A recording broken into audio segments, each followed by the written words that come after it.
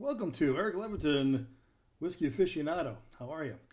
I've been hearing a lot about a distillery called High West, and they're uh, located in Park City, Utah.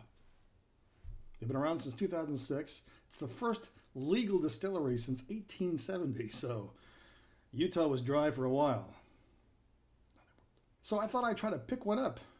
I originally wanted to try the uh, Midsummer Night's Dram. Love that title. Love that. And I hear it's really, really good. It's also really, really out of my budget right now since I'm not working and don't know when I will ever again. So today I got a small bottle of High West Double Rye Whiskey. Now, why is it double rye? Because there's two different ryes that they, that they put in together. Both of them are two years old, which makes the whiskey four years old, of course. That's the way math works. They have four basic core products, and the double rye is one of them, so we're going to try it today. Let's give it the nose test, shall we?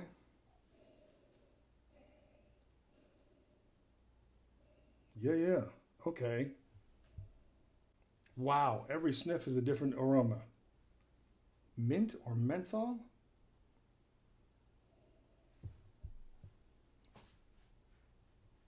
Wow. And now something not something else. What is that? Is that licorice? No. Anise? Is that the same thing? Licorice and anise? My brain is not working tonight, probably because of the heat, but I think that's the same thing, isn't it? And mint. It's some kind of sweetness, but it's not vanilla. It's not vanilla. It's not honey. Could be chocolate. Okay. Well, I'm looking forward to drinking this, aren't you? Here's to you.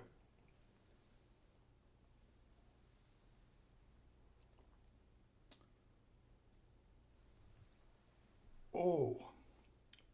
Oh. I'll have what she's having. Seriously. So much going on there. I'm tasting mint chocolate.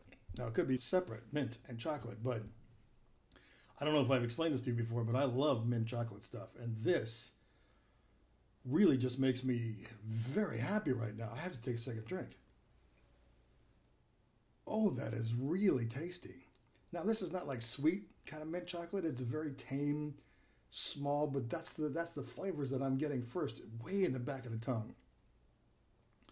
It's I can't say it's subtle because it's the first thing I'm tasting, so it's not subtle, but it's not like, oh my God, that's so sweet. It's not. It's just a lovely kind of um,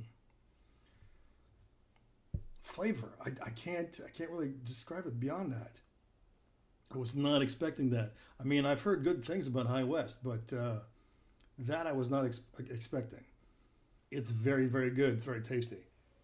Oh, the complexity keeps growing as I as I take a sip. You know what? We need some water for this. There we go. Plenty. Let's see what that does brings out some more flavors. Okay, the aromas have kind of um, lessened, dissipated, whatever word you want to use. Let's try it again. Ooh, we got the bite in the back now. Oh, something, um, uh, I want to say nutty. I'm a little flustered. I still get the menthol. Not as much of the chocolate. Oh, there's the chocolate right there. It's more separate now. That is really, really good. The proof is 92. And the finish is supposed to have cinnamon on it. So it wasn't nutty, it was cinnamony. Very, very subtle. Yeah, that's what that is. It's very good. There's a lot going on there from from the the nose to the first taste to the finish. That's that's really fun. I enjoyed that quite a bit. Oh, I'm so glad I got to share this with you right here on Eric Leviton, Whiskey Aficionado. Let me leave you with the words of Robin Williams when he said, As an alcoholic, you will violate your standards faster than you can lower them. Till next time.